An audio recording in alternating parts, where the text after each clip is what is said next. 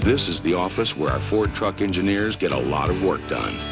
Because by knowing firsthand how a full-size pickup ought to work, they can make it work even better. That's why the Ford F-Series now has a new standard airbag, standard anti-lock brakes, and constant ideas to make tough even tougher. More proof that at Ford we're looking ahead and looking to stay ahead. Ford F-Series, the number one selling truck, is built Ford tough.